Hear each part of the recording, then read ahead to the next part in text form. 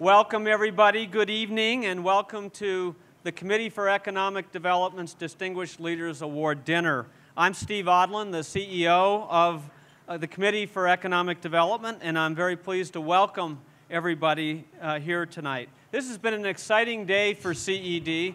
Uh, for those of you who were not in Times Square this afternoon, we had the pleasure of honoring all of our awardees tonight with, uh, at, the, at the closing bell at the NASDAQ.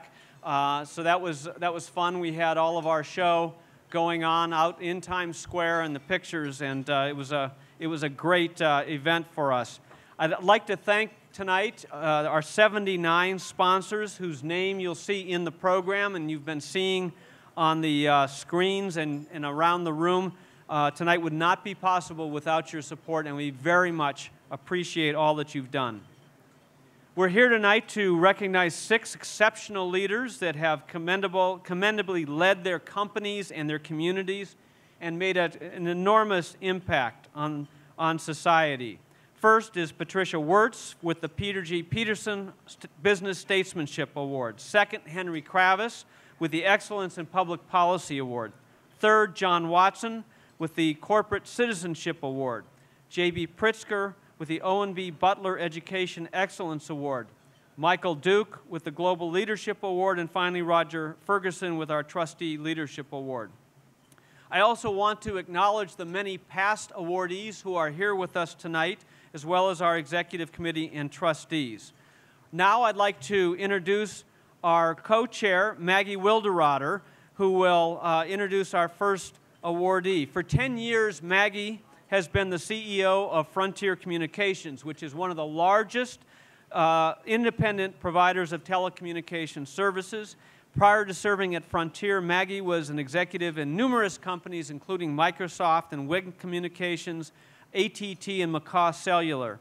Uh, in 2012, Maggie became chair of the President's National Security Telecommunications Advisory Committee, and uh, you know, one of the key parts of CED's work is developing policies and raising awareness around the importance of having more women in leadership. And all of these issues are supported by Maggie. And uh, I'm, I'm especially proud to say that Maggie is CED's very first female co-chair. With that, I give you Maggie Wilderotter. Tonight, I am twice blessed. As CED's newest co-chair, I have the honor of presenting the Peter G. Peterson Business Statesmanship Award to Patricia Woertz. And I also have the honor of introducing the man behind this award. In an interview with Newsweek in 2010, Pete spoke of his Greek immigrant father who worked day and night as a dishwasher, saved every penny, and opened a 24-7 diner in Kearney, Nebraska, which happens to be a frontier market, by the way. Pete worked there from the age of eight. He sent Pete to college and gave those less fortunate a job and also capability. Pete's father was well respected because he believed in America and the American dream, and he passed that on to his son, Pete. Pete is a success story in every sense of the word. In his CED tenure, he is the longest serving trustee that we have. He is outspoken in his belief that CEOs must contribute to our nation's long-term growth and vitality. He wants us to be better than we are and to never give up on the fight to make America a better country, a beacon for the rest of the world. I know that all here tonight are committed to living up to his standards. So it is now my pleasure to introduce to you Pete Peterson to say a few words. Pete?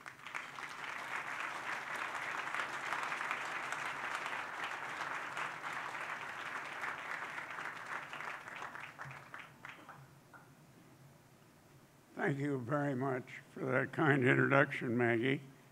You have been a fantastic addition to the leadership of the CED as co-chair. As mentioned, my name is Peter G. Peterson, and I established the Peter G. Peterson Foundation. Well named, don't you think? I've been involved with CED for many more years than you could imagine, and I'm proud to help present the Peter G. Peterson Business Statesmanship Award. Given the size of my ego, I used to think that it would be very hard to find someone who would be worthy of an award named after me. But alas, and I say this sadly, year after year, they somehow managed, shattering my illusions. In fact, this year's recipient is extraordinarily worthy of recognition. Patricia Woertz is the perfect example of business statesmanship, and I hope she will consider accepting this award, even though it has my name on it. Thank you all for coming, and congratulations to Patricia for a very well-deserved recognition.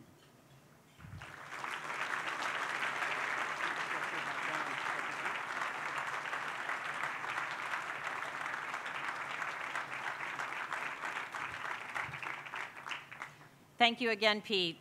You could uh, be a stand-up comic in your next life. Well, my wonderful friend and colleague, Pat Woertz, runs a company that feeds and fuels the world.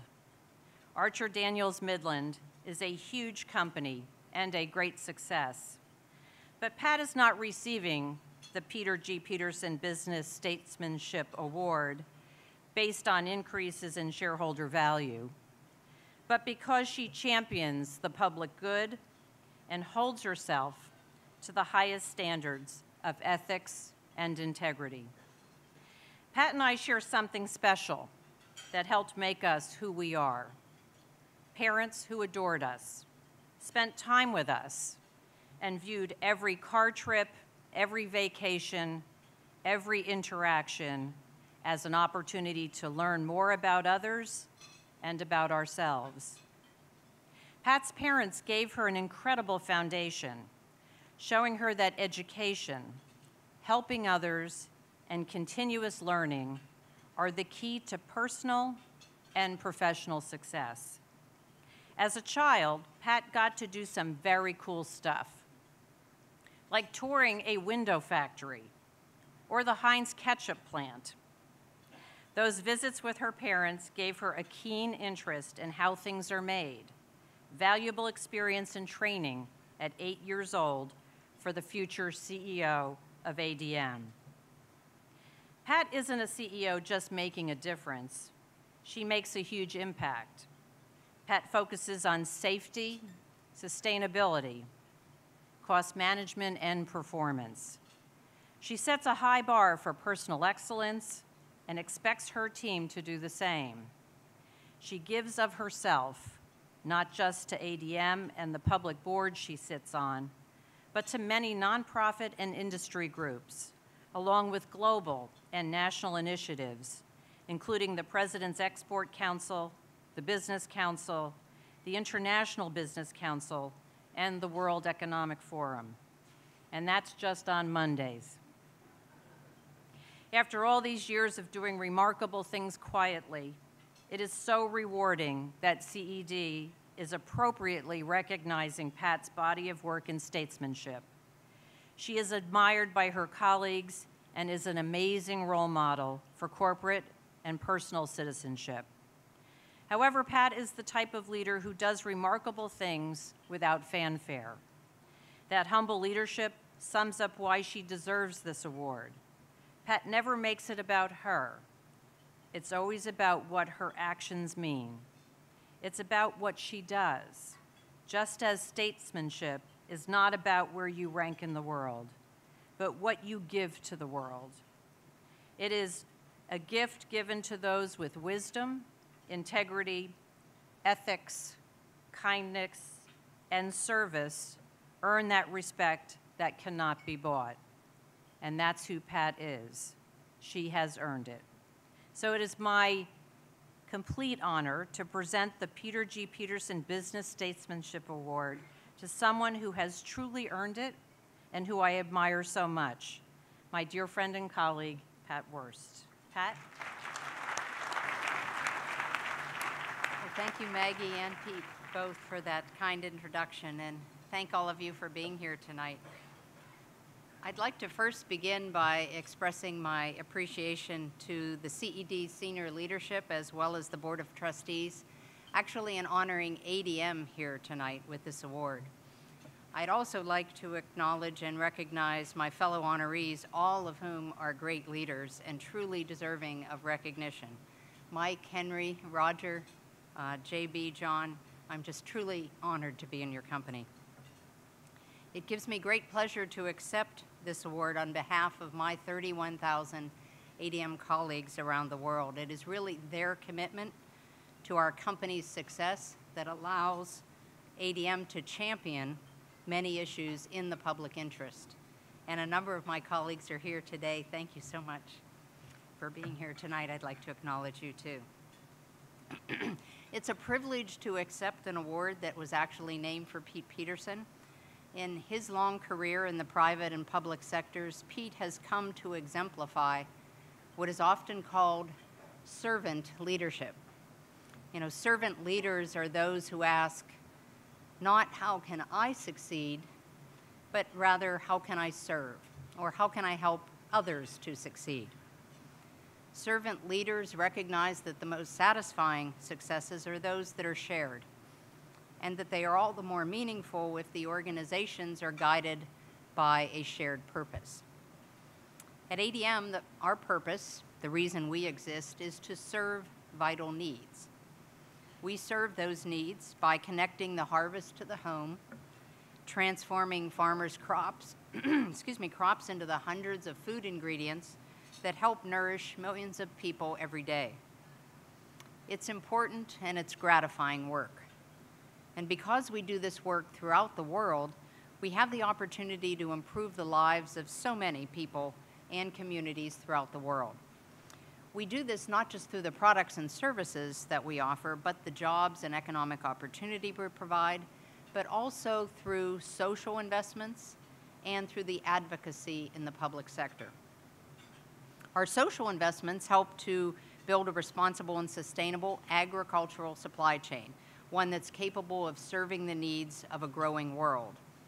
Two quick examples. For instance, we know that smallholder farmers in developing worlds lose much of their grain each year to pests, to disease, to mishandling, or to poor storage.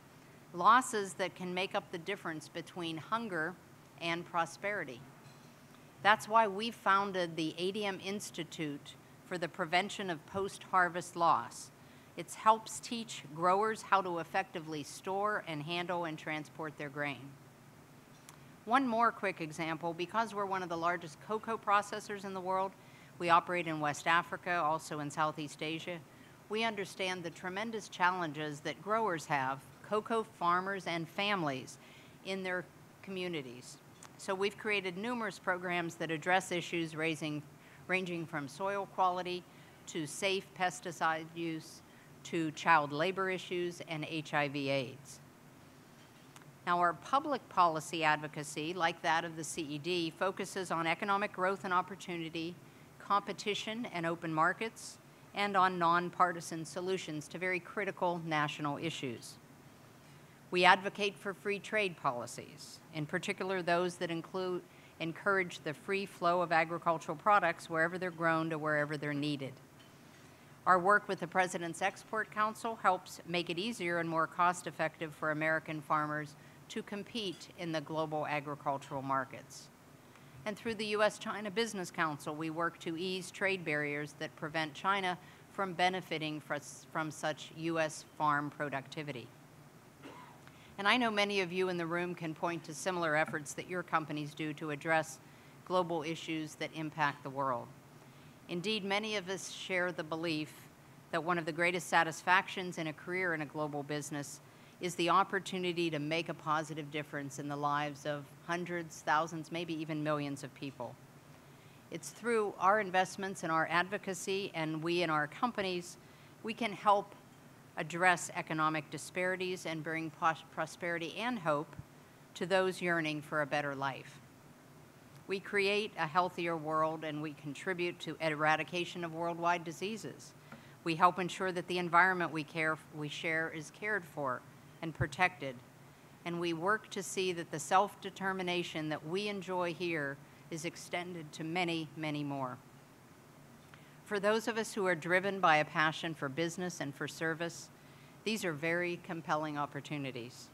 And like Pete Peterson and so many of you, I believe business can make a, be a very positive force for change.